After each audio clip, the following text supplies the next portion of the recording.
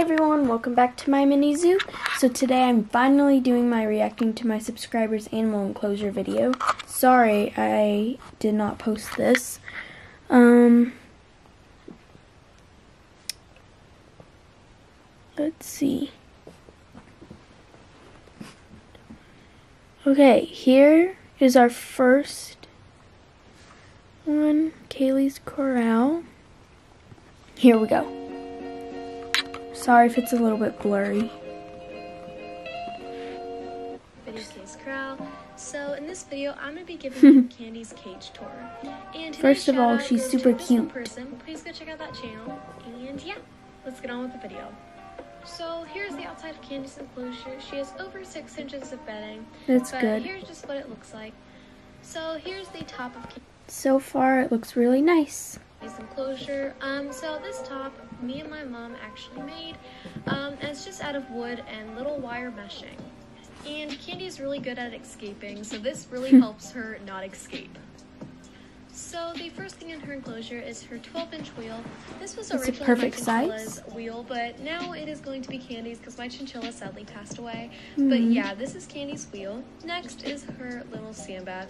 This is Nice. actually a baking pan, but Um, I'm not sure if all sand baths need a hideout or not, but I might recommend one. You you don't have to put one in there if you don't want. well for sand baths and actually holds a lot of sand which is really good and you can Yeah. see her little footprints in them and it is really cute That Next is. is her absolute favorite hide this hide is just made out of wood I really want to get one of those for Blue. They're super good.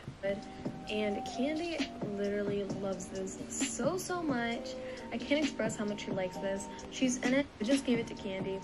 And here's another one. And by the way in this video you'll see candy escape a whole lot um like right now. But um basically yeah. And here is her food dish and here is her water dish and then she also has a water bottle she has the option of a water bottle or a water dish That's Usually good. she uses the water bottle but yeah and there's a little candy on her wheel but um here is another tunnel usually for syrian hamsters Ooh. you can barely find any tunnels for them but i think That's this is true. a guinea pig tunnel and candy is the size of a small guinea pig so it really works out for her she does like Mhm. chewing on this and right in here you can see her just going through um, but yeah, I really like this tunnel for her. And next is her little coconut that she is trying to escape from. Um, here she is. But um, she is so silly. And here is another toy. So these little three box looking things was actually a bird toy. It was like six dollars at Petco. Um, but I like stuffing treats in there and That's a good foraging idea. Them, um, as you can probably see. Um, and here is Candy's little burger and french fry, little loofah, and wood shoes. Um, full credit to my mini zoo for giving me the link to buy these. Candy really likes chewing on them, as you can see the french fries. It's kind of destroyed. Um, but yeah, she absolutely loves these. And here I am trying to get Candy to stop escaping again. That's funny. and Candy is apparently the star. But here's a little destroyed pine cone, and I didn't get So she has a lot of enriching things to outside. I do. bought it. Um, and That's then she's really good. And then she has a little swing. Uh, thank you for entering. Your cage is absolutely amazing.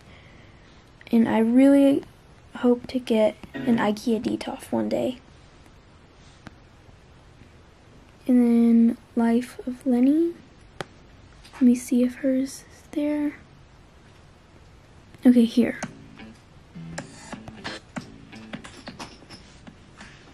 Huh?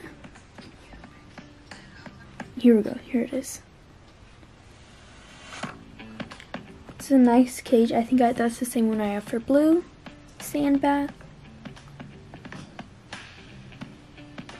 Dirt.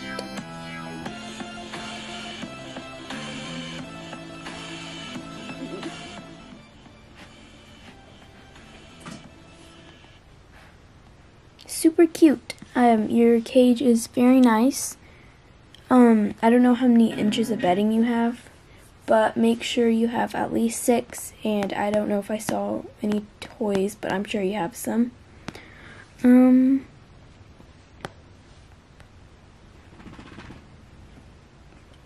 Hey everyone, wait, two is a Hi, I'm Nevaeh. This is Nevaeh's Pets, and today I'm going to be doing my hamster Pablo's cage tour. Information including bedding type, wheel size, hamster species, and stuff like that will be in the description. Let's get into it. He eats the pellets last though. And willow tunnel, it leads into the substrate, Nice. also good for their teeth.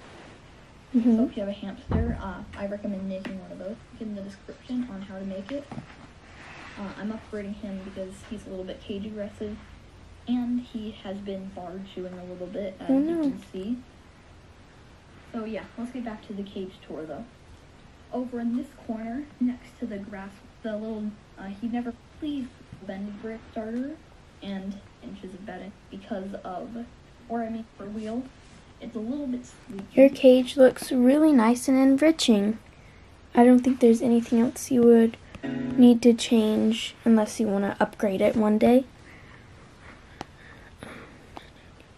Okay, now we have Misty the hamster.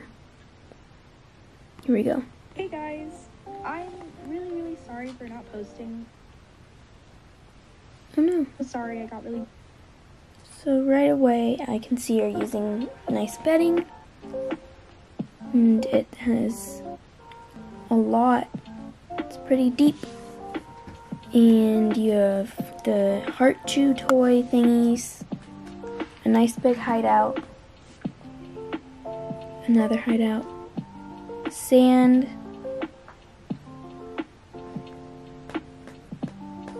So far it looks really nice. Hmm. Maybe in the sand bath area, if you notice that she really enjoys digging, maybe add more sand. And if not, then nothing else. Um, it looks really nice.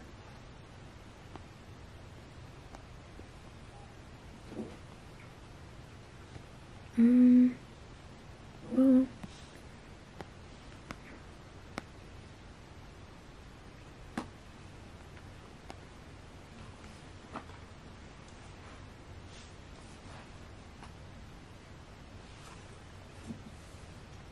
let me see really quick.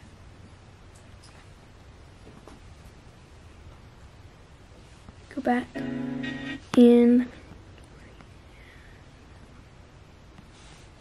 see on here. There's one more.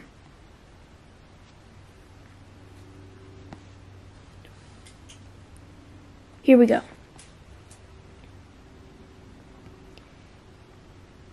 Scroll down.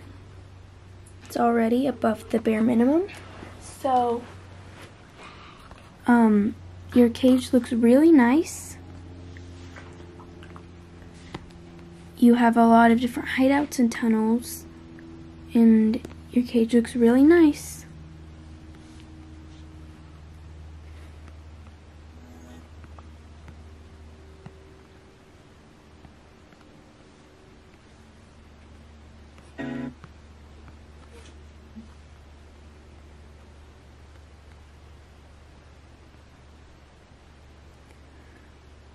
Here is this one.